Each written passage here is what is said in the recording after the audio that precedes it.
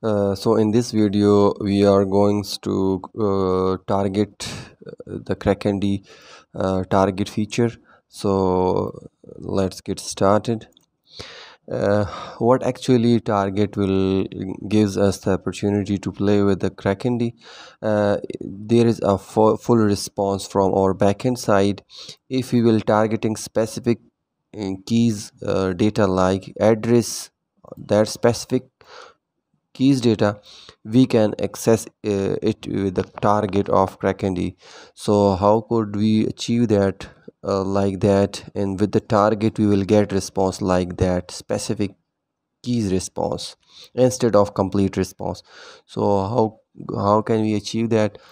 Let's deep dive into the code of KrakenD that's the without target original response and I am uh, pretty sure that you will be aware from that specific code. So let's deep dive to the implementation area. Here is the key endpoints and the url pattern and json placeholder similar that's the specific point which we needs to be addressed here. Target uh, is the key of a feature. So what actually it takes it takes a keys of the response.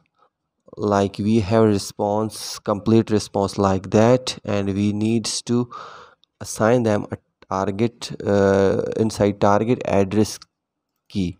So what if we needs a company or specific website key?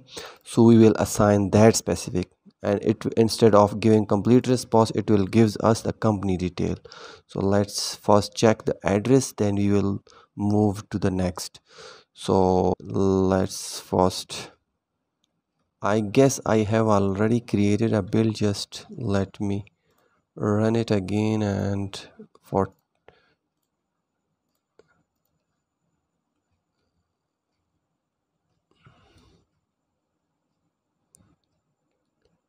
it's running now and let me show you the API original response. API gives us the complete detail uh, of specific user uh, its address company details email id name and so on.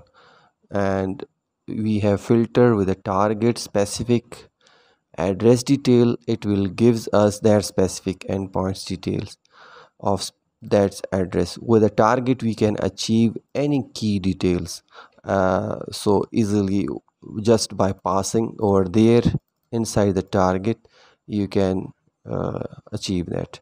So that's it for the target uh, feature of KrakenD uh, see on the next video of how to cache specific response endpoint. So it will gives us opportunity to uh, minimize the latency